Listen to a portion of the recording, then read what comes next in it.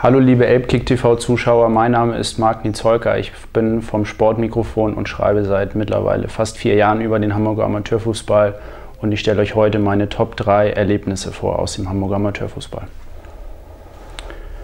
Top 3 würde ich sagen, war das erste Heimspiel vom FC Süderelbe in der Hamburger Oberliga gegen ähm, SC4 und Marschlande vor zwei Jahren, als Süderelbe damals aufgestiegen ist und dann das äh, Auftaktspiel hatte.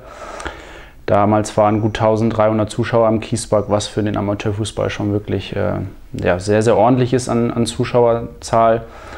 Und äh, es war super Wetter damals, ein tolles Spiel von Süderelbe zum Auftakt gesehen, äh, mit richtig super Offensivpower. Und das hat äh, richtig viel Spaß gemacht, auch darüber dann zu schreiben. Top 2 Erlebnis war Pauli 3 gegen Buxtehude 2 aus der letzten äh, Bezirksliga Südsaison. Das Spiel ging damals, äh, wenn ich mich nicht irre, 3 zu 5 für Buxtehude aus. Es gab rote Karten im Spiel, äh, verschossene Elfmeter, Pöbeleien auf den Schiedsrichtern, Pöbeleien unter den Spielern. Es war also eigentlich alles dabei äh, in hohem Maße und ich musste das dann auf äh, relativ wenig Text zusammenfassen, das Ganze. Und das war äh, eine ordentliche Herausforderung, aber auch das äh, hat man dann meistern können und das war auch eine schöne Sache.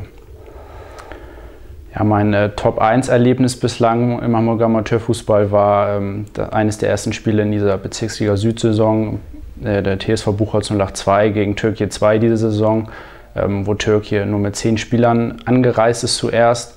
Dann kam noch ein Elfter dazu, aber dieser elfte Spieler wollte dann äh, nicht direkt mit aufs, ähm, aufs Feld kommen, weil er, glaube ich, gehofft hat, dass noch andere kommen, die vielleicht aus seiner Sicht besser sind als er selbst.